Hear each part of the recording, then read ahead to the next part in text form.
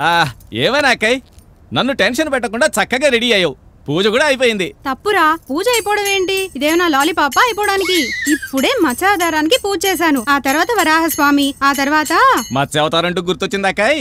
చేపల పులుసును ప్రత్యేకంగా అడిగారు వాళ్ళు భోజనాల్లోకి. ఛీ చేపల పులుసుకి పూజకి లింకు పెడతావేంట్రా? అది సరేలే అక్క. ఎక్కడికే? హారతిని ఒలింపిక్ జ్యోతిలో పట్టుకుని వెళ్తున్నావు? అసలు పూజలో హారతి ఎందుకు ఇస్తారో తెలుసా నీకు? అక్క అక్క. ఈ భక్తి ఛానల్ ప్రసంగాలు నాకెందుకే? నా టెన్షన్స్తో నేను చస్తూ ఉంటే నువ్వు పదవే.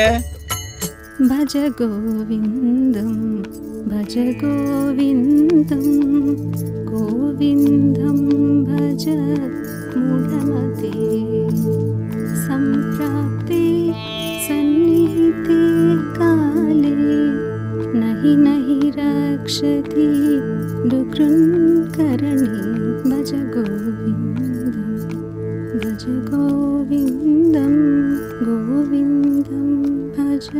ఏంటి రమ్య? నువ్వు ఇంకా తయారవలేదా త్వరగా తెమలవే అవతల పెళ్ళి వాళ్ళు చేస్తున్నారు ఏంటి పద పద అనుకుంటూ ఇలాగే వచ్చేయమంటారా? చీర మార్చుకోవద్దా? కట్టుకో మరి. అదే ఏ చీర? అదేమిటి? నిన్న మధ్యాహ్నం డిసైడ్ చేశానన్నావుగా? ఏది? ఆ పీచు మిఠాయి రంగుదేనా? ఇంకా నయ్యం. ఆ తర్వాత గుర్తొచ్చింది. ఓ విషయం చెప్పండి. ఇవాళ నిశ్చితార్థం అంటే మీ బాబాయ్ గారి రెండో కొడుకు భార్య భానుమతి వస్తుంది కదా? అవును. అయితే ఏంటి? వాళ్ళ పెద్దమ్మాయి ఫంక్షన్కి అదే చీర కట్టుకున్నానండి. ఆమె చూసిన చీర మళ్ళీ ఎలా కట్టి చూపించమంటారు అంటే ఏంటి? ఎవరైనా ఒకసారి చీరను చూస్తే మళ్ళీ కట్టవా? అగ్గది అలా చెప్పండి మరిది గారు ఒకటే మొహం మళ్ళీ మళ్ళీ చూపించుకోవడం లేదు. అలాగే ఇది కూడా. అయినా చీరలో తెగ మార్చి మార్చి కట్టినంత మాత్రం అందం వచ్చేస్తుందా ఏంటి? అందం అనేది ముఖంలో ఉండాలి. అందుకే మేకప్ వేసుకునే ఒక్కోసారి ఒక్కో రకంగా కనబడేలా తయారవ్వాలి. చీరలు ఎన్ని మార్చినా ఏం ఉపయోగం? ఈ బిజినెస్ కూడా దొబ్బింది ఏంట్రా బావా? మీరు మారర్రా. బా ఒక్క సెకండ్ బావా. శిల్ప? నా ఫోన్లో బ్యాలెన్స్ అయిపోయింది. ఓ రెండు వేలు వేయించవే నాకు అంత టైం లేదే. ఎవత్తది ఎవత్త ఫోన్లో మీరు రోజు ఇలా గంటలు గంటలు ఫోన్లో మాట్లాడుతున్నారంటే అది ఖచ్చితంగా ఏదో లవ్ అఫేర్ అయి ఉంటుంది. చెప్పండి నాకు ఇప్పుడే నిజం తెలియాలి. వదినా అన్నయ్య వెళ్ళిపోయాడు. అదేంటి? నేను పక్క మాట్లాడుతుంటే అలా వెళ్ళిపోతాడా? లేదు వదినా నువ్వు మొదలు పెట్టక ముందే ఆయన వెళ్ళిపోయాడు. అసలు అద్దం వైపు కాకుండా ఇటువైపు చూస్తే కదా తెలిసేది. అక్క ఏడవకే. చిచి నేనెందుకు ఏడుస్తానే? ఎంత బాధ ఉన్నా గుండెలోనే దాచుకుంటాను గాని అస్సలు ఎడవను ఎందుకంటే ఏడిస్తే మేకప్ పోతుంది కదా. కోదండం బాబు కోదండం. అదిగో పెద్దదని పిలుస్తున్నట్టుంది. ఏం అర్జెంట్ పని ఉందో ఏమిటో. మీరిద్దరూ కొంచెం త్వరగా రెడీ అవ్వండి.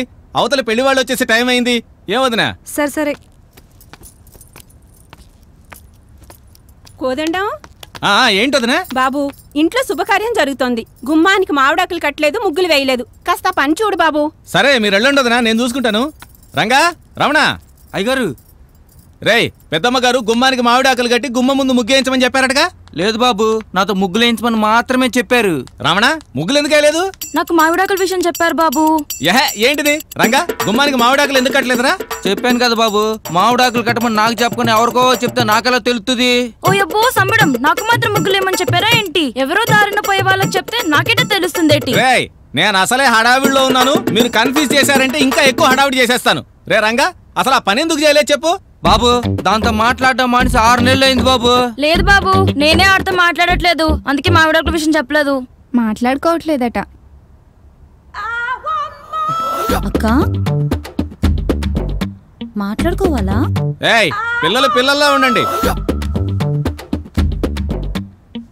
వెళ్ళండి ఇక్కడి నుంచి. రేయ్ మీరు ఇలా పని చూడండి. అలాగే అయ్యగారు.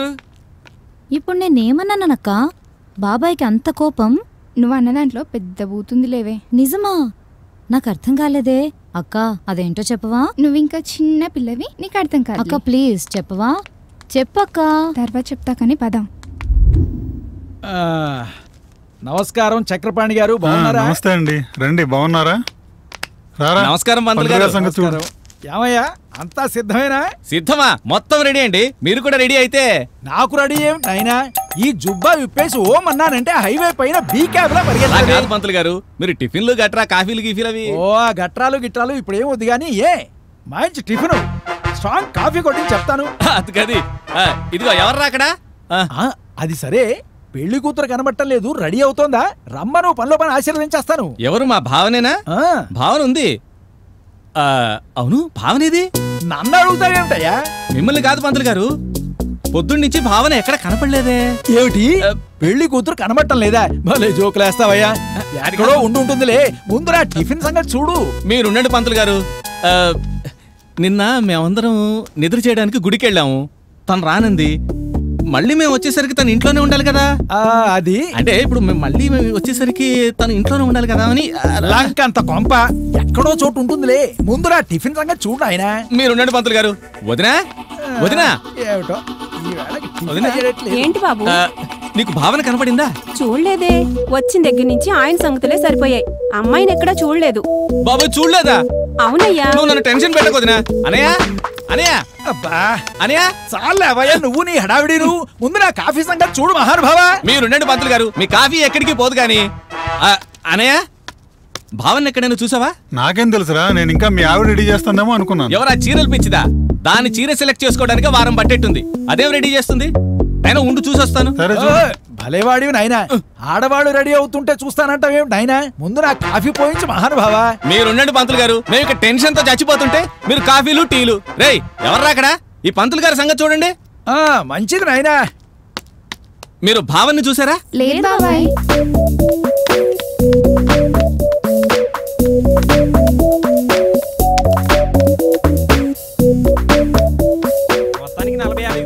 ముంచేశారా మీ నాన్న? గిటిగేశారా దెబ్బ?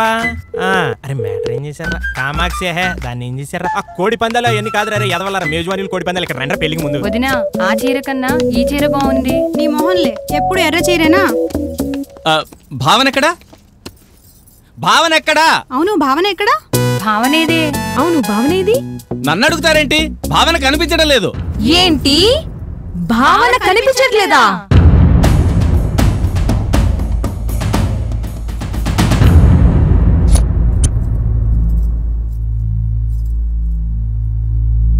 ఇలాగే హీరోయిన్ లేకుండా సినిమా తీస్తానని ఓ డైరెక్టర్ అంటే అప్పుడు హీరో నేనెందుకు? డూపును పెట్టి తీసుకోండి అన్నాడంట. బావా కాస్త ఆగు పొద్దున్నుంచి భావన్ ఎవరైనా చూసారా? లేదే.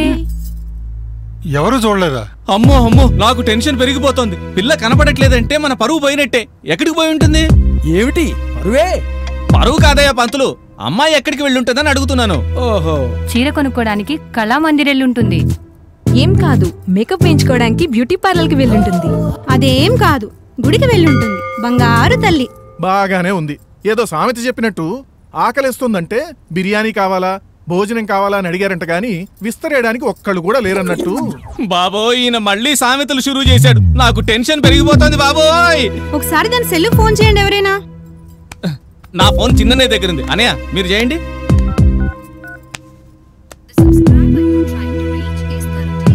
స్విచ్ ఆఫ్ వస్తుందిరా. ఇలాంటి అమ్మాయే. నెట్వర్క్ సరిగ్గా లేదని ఫోన్ తీసి దిబ్బలో కొట్టిందంట. అంటే ఏంటి బాబా నువ్వు అనేది? ఏముంది? ఈ సంబంధం నచ్చక ఎక్కడికైనా వెళ్ళిపోయిందేమోనని. మీరు ఊరుకోండి అన్నయ్య గారు. దానికి నచ్చకపోవడానికి మనం ఏమైనా బలవంతం పెట్టామా? అది ఒప్పుకున్న తర్వాతే కదా ఫైనల్ చేసాం ఏంటి? భావన ఒప్పుకుందా? ఆ తర్వాతే ఫైనల్ చేశారా? ఒక్కసారి ఆ రోజు గురించి ఆలోచించండి. మన సినిమాల్లో చూపించినట్టు గిరా గిరా గిరా గిరా చక్రాలు తిప్పేస్తే. మార్నింగ్ నాన్నా. మార్నింగ్ రా. హాయ్ అమ్మా. అమ్మా ఇవాళ టిఫిన్ ఏంటి? ఏముందమ్మా? నాన్నకిష్టమని ఇడ్లీ చేశాను.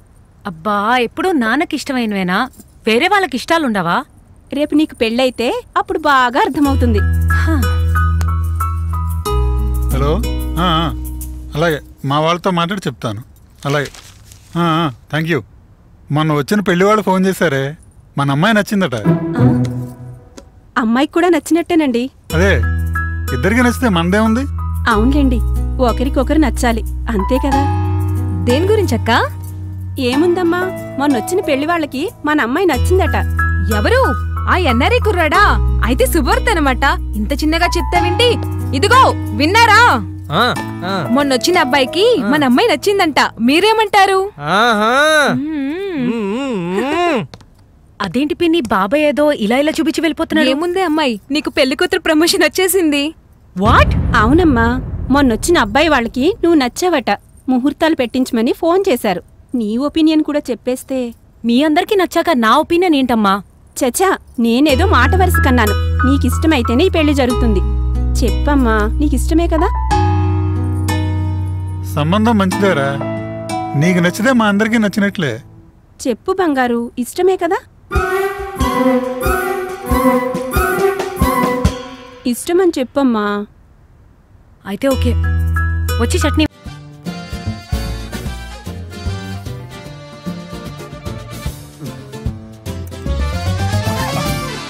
Thank you welcome